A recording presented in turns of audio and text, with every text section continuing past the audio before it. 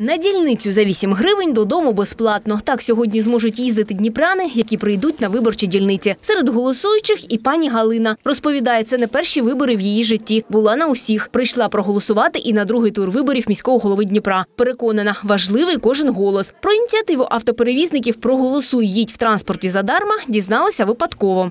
Э, На выборы я хожу всегда, потому что это моя гражданская позиция. Сегодня я пришла на второй тур выборов.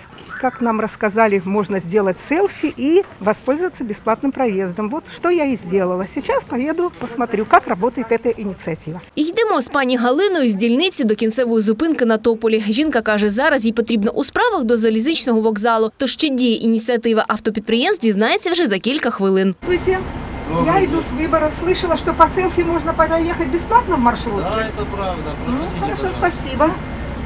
Світлана – диспетчерка автопідприємства, що обслуговує 101 та ще 10 маршрутів у Дніпрі. Каже, вони також приєдналися до ініціативи «Проголосуй, їдь в транспорті задарма». Жінка розповідає, сьогодні на лінії десь зо дві сотні бусів. Всі пасажири, які матимуть світлину на фоні виборчої дільниці, їздитимуть безплатно. Все водители, которые вышли на линию, предупреждены о том, что сегодня работаем с фото с избирательного участка.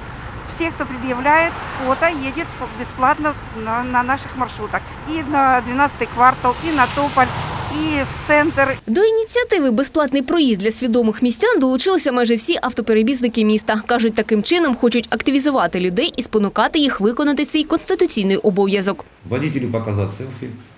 На любой остановке, это не обязательно конечная, на любой остановке он показывает селфи, его лицо и видно избирательный участок, и он едет абсолютно бесплатно. Алена Вітрова, Василь Самовар, Ярослав Засоба, Open News, телеканал відкритий.